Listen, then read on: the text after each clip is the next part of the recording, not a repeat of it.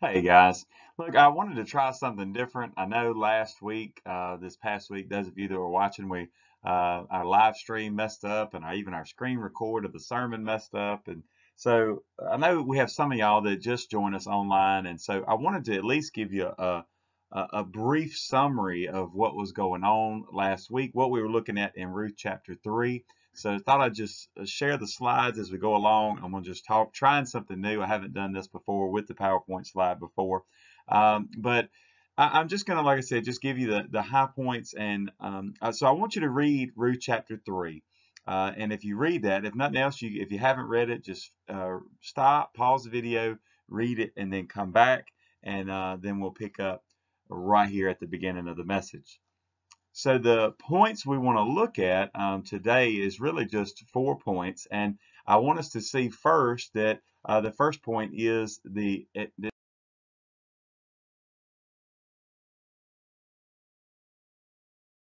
Naomi took advantage of the situation. Now, as you know that you know she at the end of chapter two, she was uh, very upset and uh, or at the end of chapter one, very upset. And, and she has a little hope at the end of chapter two. And now she's kind of taking the reins. And uh, with this, this message being decision, there were decisions made by all. And we'll kind of wrap that up there at the end. But Naomi decides that she wants to take advantage of the situation. Um, not in a, and I don't mean that in a negative way. I mean that she realized that, I believe she realized that God had placed this man Boaz in their life, and especially in the life life of Ruth. So, if nothing else, she was definitely just taking advantage of the willingness of Boaz. Uh, if you remember and you recall from chapter two, um, he was very generous. He he showed a lot of uh, what I just like to call one of my favorite words in Scripture is that word favor. Uh, he showed a lot of favor and concern over Ruth, and then even in the way that he was sending stuff back home with her um, he was taking care of Naomi as well. He had heard the, the history of these two ladies and he, he was concerned for both of them. So one of the things that Naomi was taking advantage of his generosity and his favor and his concern. Now, I love the fact that this is what Naomi had prayed for in chapter 1. She prayed for it for Orpah and for Ruth. And, you know, and when she was praying that, she was sending them away. But remember that Ruth said no. She, she clung to her and stayed with her. Um, so I love too that Naomi's concern was for Ruth. Ruth's concern was for Naomi, but Boaz was concerned for them both. Now I still do. I love the the the way that God is working behind the scenes, and that's hence the title of the series. I, I love the fact that it's amazing what God will do when we're more concerned with what others are going through.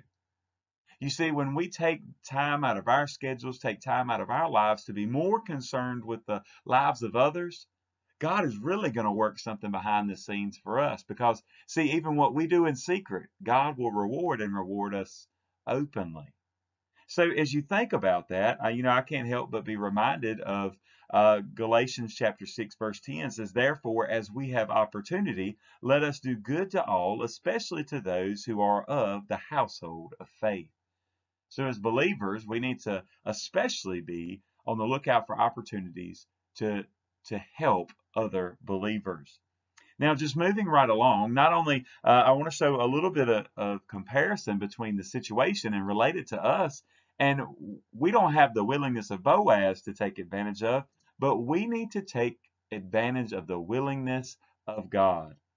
You see, now if you think about this, if we're looking at Boaz's generosity, favor, and concern, well, how can we not help but think about God's generosity towards us, his favor over us, and his concern for us?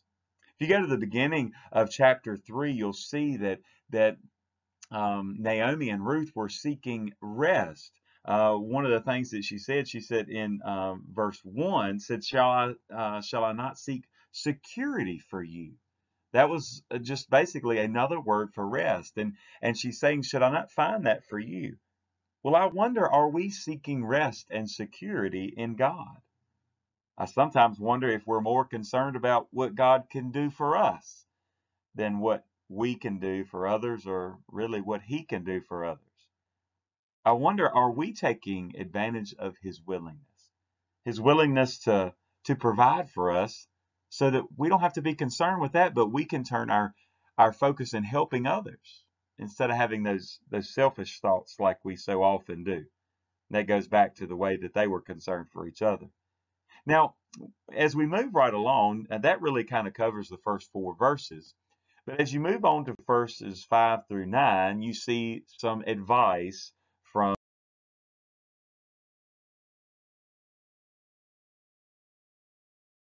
Naomi. And Ruth takes the advice. Now, as you look through those verses, it may seem odd to us, right? But um, she is telling her, she's saying, look, you need to go out and you need to seek out Boaz. Uh, as you go, it, it, seems that even as she does follow through with that advice and, and she comes to, to Boaz in the, in the middle of the night and, and you read through the scripture and you see that this is a strange, uh, almost for us, it would be a strange thing. Why would you go lay at the feet of Boaz and then uncover his feet? It doesn't make sense to us, but he would have known right away when she said, you know, when he woke up and, and she said, well, cover me with, cover me with your cloak, cover me with your wing, that that was so much more than that he she was asking basically saying are you willing to marry me and so what she said is really that's what i want to happen i want to marry you are you willing to marry me? Now you know arranged marriages were customary at the time and this is almost like a really an arranged marriage that naomi is trying to set up. But and, and I, I, do want to make sure just make a little note here as i even mentioned last week that you know, some people even try to go to, I think, an extreme and think that, well, uncovering his feet was some euphemism for something else, and they they try to make the story more than it than it should be, and and really it was just literally her laying at his feet, uncovering his feet. You think about this.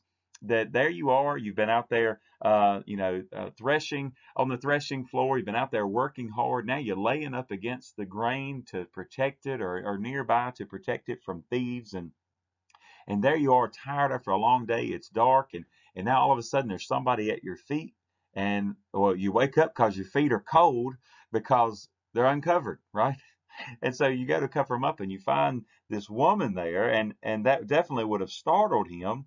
But again when she says will you cover me with your wing or garment? that's what she was asking will you provide that security that i'm seeking? And the reason she was seeking that security is because she followed the advice of Naomi. Naomi could, I believe, could see that Boaz, there was something more that God, I think she could see that God was working behind the scenes. And see, I think even with that, are we willing to take the advice of godly people in our lives and to listen, even when we don't understand, and we truly can see and believe that God is working behind the scenes?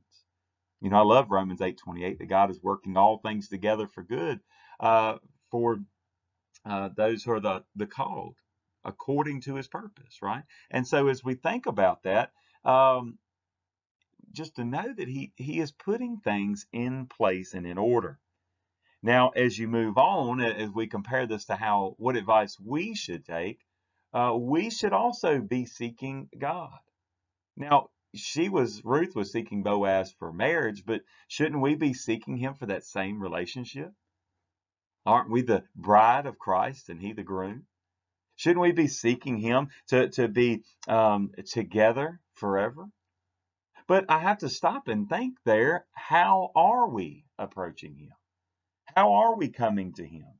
Now, I think sometimes we need to look at the way we come to worship him. Sometimes we come with a kind of half uh, I don't know, half a mind to just that we're just checking a box and that we're just we show up at church or we even I mean even joining online, you know, we just say, okay, well I'm gonna just listen so in case he says something or if I see him around I can I can mention uh, what I saw in the sermon or something like that. But are we really coming to worship him? You know, when we come to our, our quiet time, are we really worshiping him? Uh, when we come to prayer, are we really worshiping him? We even talked about that in Bible study this past week. Is is it is it really something that we're trying to do with a right heart? Are we worshiping him first and foremost? But see, there's something in the way that we approach him as well, because you did you notice how Ruth approached Boaz? There was a couple of things she did, right? First, she's told to go wash and cleanse herself. Now, I mean, we're thinking on the, the physical sense of her approaching Boaz, but spiritually, we need to cleanse ourselves before we come to God. Now, yes, we cannot clean ourselves up, but what we need to do is say, God, forgive me. Right? We need to get rid of the sin. We need to stop the sin. And then we need to ask forgiveness. The second thing is that we see with her is that she's a anoints herself with oil, and I love the fact that anointing all and is so often tied to the Holy Spirit and and how we need to anoint ourselves with the Holy Spirit, right? We need to pray and ask the Holy Spirit to intervene as we come to worship, right? We have to worship Him in spirit and in truth you know also the third thing is is that ruth changed clothes she put on her different garments and and I love how one commentator put it that basically, spiritually speaking, we need to take off the grave clothes and we need to put on the grace clothes. We need to come, I would look at it more as clothed with the right heart. That goes with number four, that we approach in the correct manner, and that would be humbly at his feet. The same way that she approached him, the same way that Ruth approached Boaz, humbly at his feet. We need to approach God the same way. Because don't forget, Boaz could have refused all of this. Boaz could have refused to marry. He could have refused to, to as we'll talk about really in the next uh, in the next sermon. We'll really talk about him being that kinsman redeemer. He could have uh, turned it all down. But finally, the fifth thing is is that we see that uh, that Ruth had promised to obey Naomi. We saw that in chapter one, and and that's exactly what she's doing. She's she said she would basically do whatever Naomi asked of her, and that's exactly what she's doing. She's being obedient. And if we're going to approach God and worship Him correctly, we need to be willing to obey His word wholeheartedly. Then I love after the advice, we see my buddy Boaz, he took action. He took action.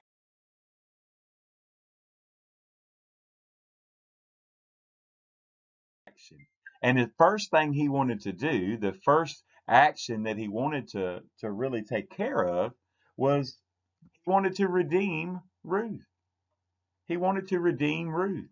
Now, I told you is you have to look at what the kinsman redeemer, and basically it was, uh, in a nutshell, it's the idea that if a woman had had no children and her husband died, uh, no male children, and her husband had died, that he would come in, uh, this kinsman redeemer would come in, the nearest relative um, would come in and marry her, and they would produce a child through him, but yet it would carry on through the father.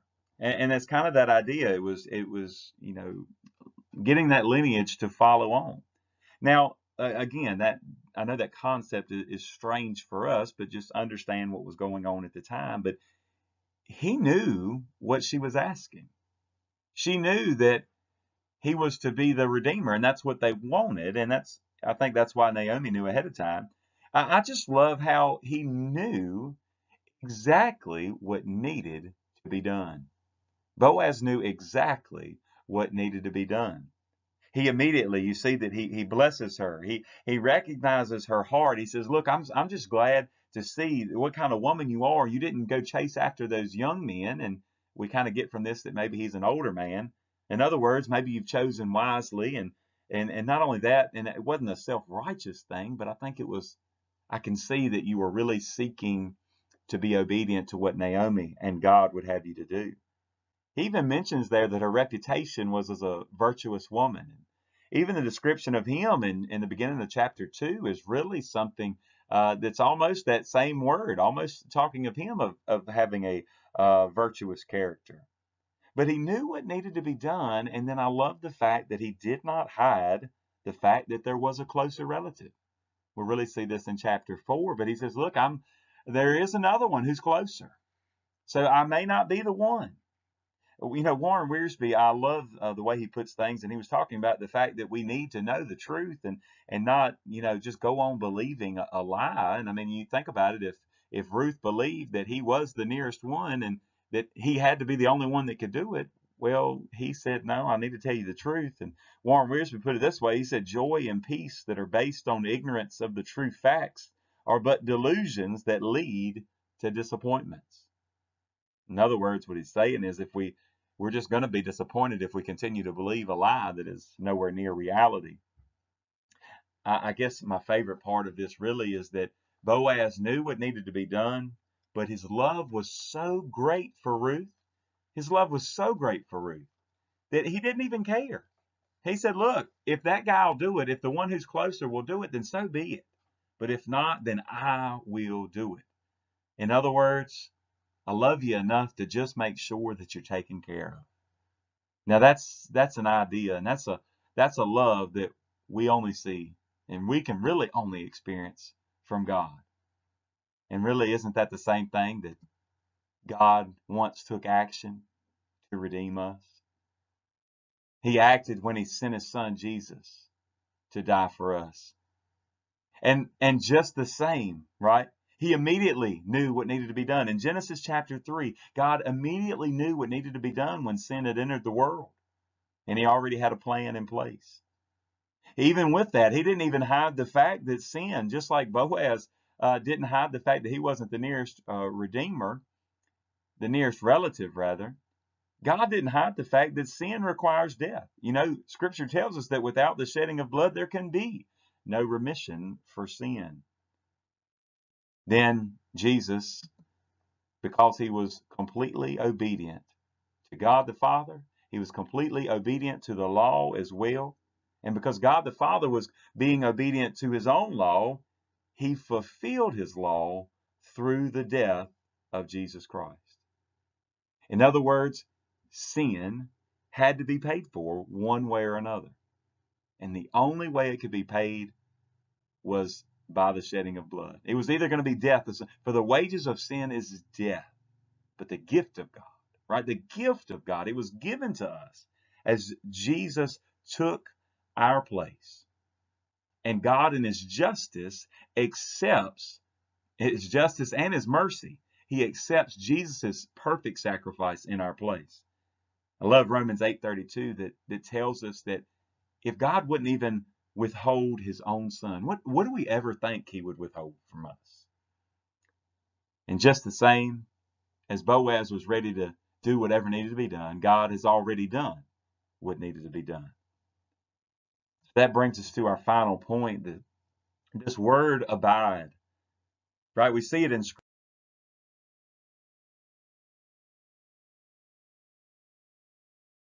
Scripture as it relates to Jesus. But right now, I want us to see that the way that the, the word abide dealt with Naomi and Ruth, how they had to abide in the word of Boaz.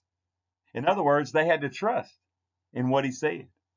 They had to trust. He said he was going to handle it. They had to trust that that was true.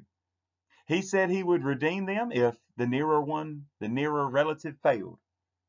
He gave graciously while they were waiting. Did you notice how uh, how she says there as she's loaded down with grain, and this is in verses 16 through 18, and she's loaded down with grain. You see this conversation going on, and it says, Well, I couldn't come back empty handed. I really think that's a play on words, a, a play on a thought from chapter 1 where Naomi said she had returned empty. You know, call me Mara, for I have returned empty. I think it was really something that here that she says, Look, Boaz wouldn't let me come back to you empty handed.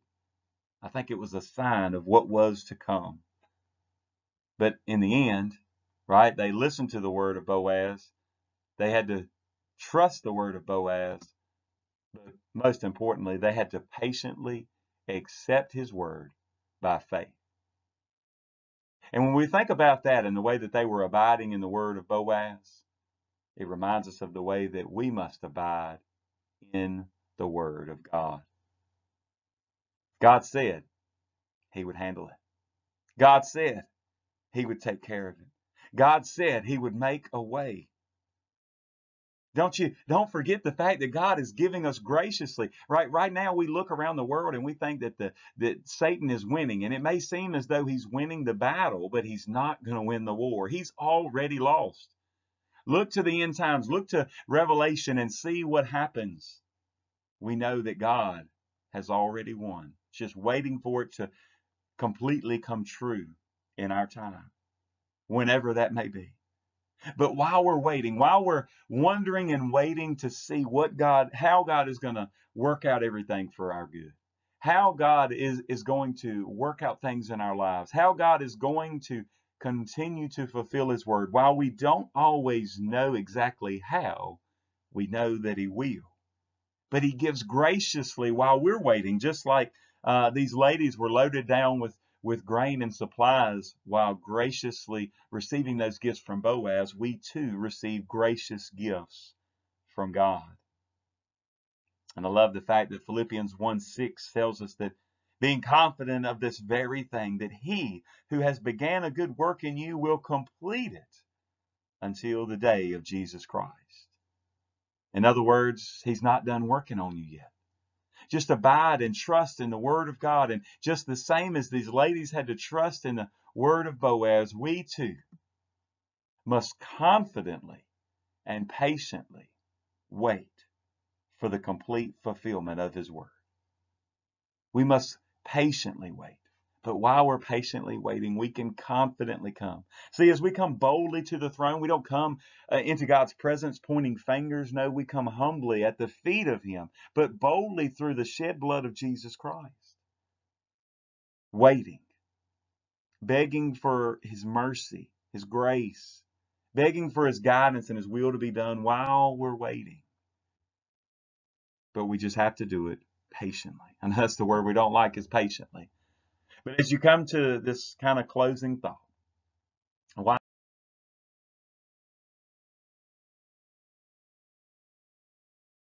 decision? So all that I've talked about, why why decision?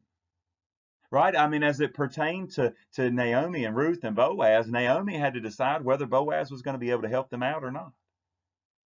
Ruth had to decide if she was going to be content with just the food provisions that Boaz had given, or if she really wanted rest and security with him for the rest of her days.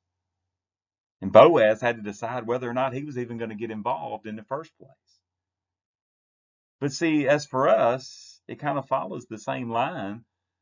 We have to check and see and see if we're willing to believe that God can redeem us.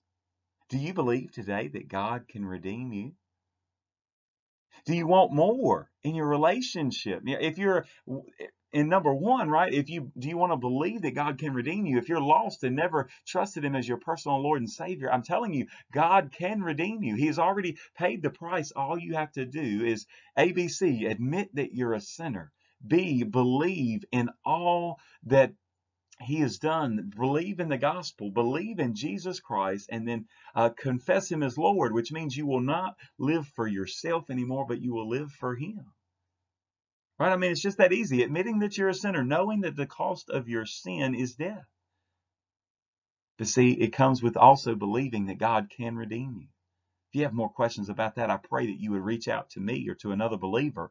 We would be glad to share that with you.